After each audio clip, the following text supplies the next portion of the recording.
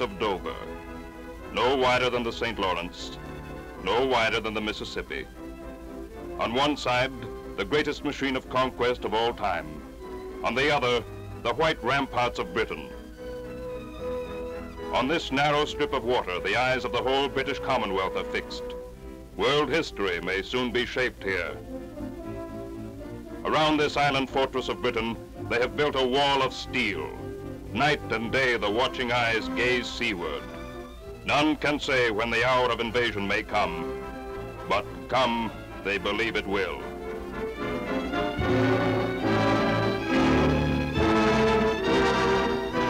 Behind the armored shorelines, 40 million people are at the battle stations. These are Britain's craftsmen, the steel puddlers, foundrymen, machinists, the men and women who in time of peace made England rich and strong. And they it is who have brought about the silent wartime revolution which demands that nothing shall hinder the fulfillment of the nation's needs. Willingly they have faced the sacrifices, discomfort, hard rations, long hours. For they know that the hosts across the sea are massing. Every hour is precious. Deutschland nicht gelebt, aber das, was heute vor uns steht, Germany did not start this war.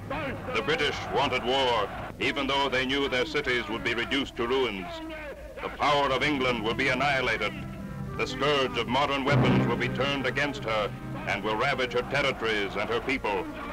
Already her southern towns are receiving the baptism of fire from our long-range guns. The role of England is to be a vassal state in our new European order. Britain and her Commonwealth will be ruled by blood iron and force. Soldiers of the Reich, your hour is approaching.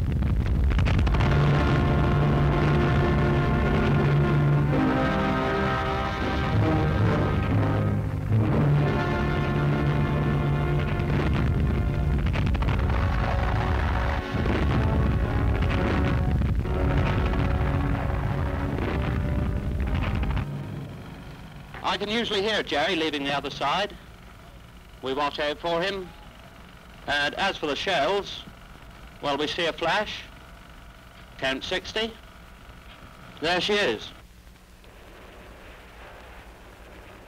It was just such people as these who bore the full brunt of the first German onslaught on England, the all-out air attack of September 1940.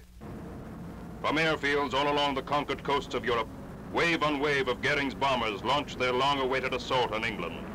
Their tactic, to drive the RAF from British skies, to spread civilian panic, prepare the way for the invading army. So across the fields of Kent and Sussex, across the rolling downs of Hampshire and the sprawling mass of London, the Battle of Britain began. The first great decisive battle in history in which the front line fighters were airmen and civilians.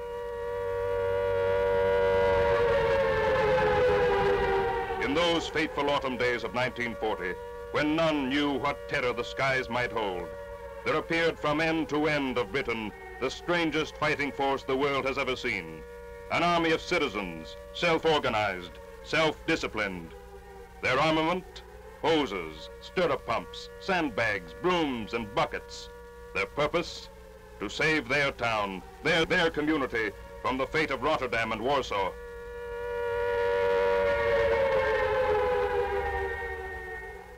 And even before the droning engines of the Luftwaffe heralded the first mass attacks, this People's Army of Britain stood ready.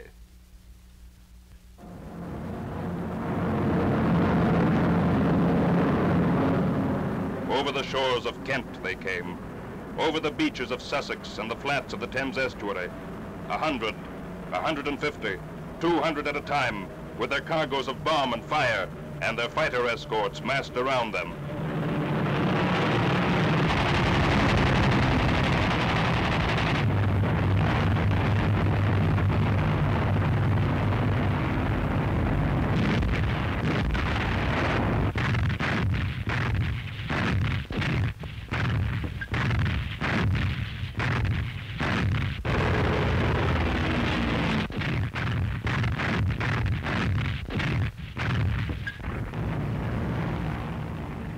Raiders were the elite of the German Air Force, groomed for victory.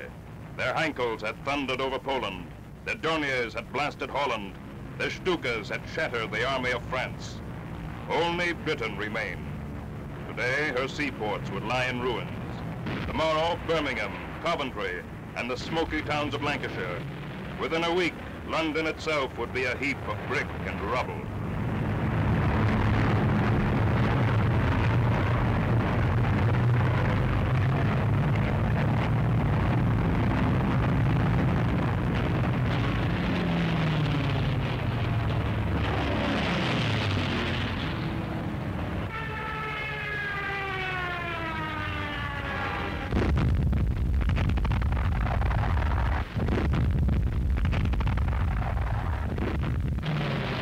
But they failed to reckon with the RAF.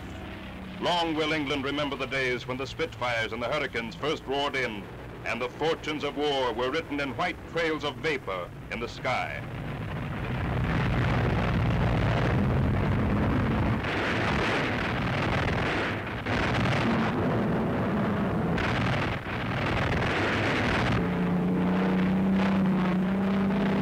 As the German formations scattered before the fighters' guns, the radio reports blotted out space and time, intercepting over Norwich, brought down at Calais, engaging at Portsmouth, destroyed at Ostend, and over the radio, too, the repeated warning cry of the Germans to their hard-pressed comrades, Achtung, Spitfeuer!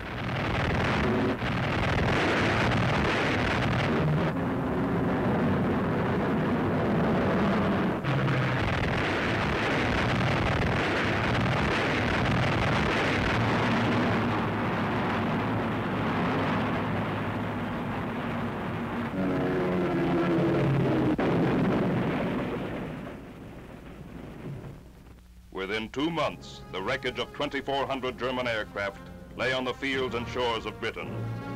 They had failed to reckon with the RAF above.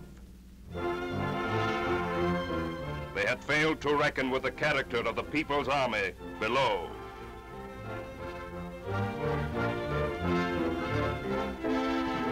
Well, we've pulled more jerrys out of drink than I ever knew existed. It's a fact. Fat ones, thin ones, small ones, you'll be surprised. We're getting proper fed up with it.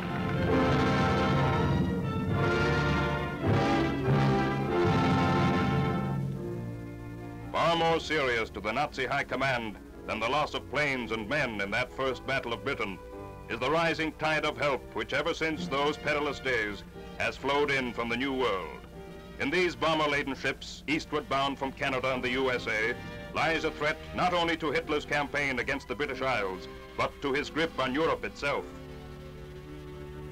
Today, the leaders of Germany well know that unless that sea supply line can be swiftly cut, all the triumphs of their armies will have been in vain. Every ship that steams in front of our torpedo tubes will henceforth be sunk at sight.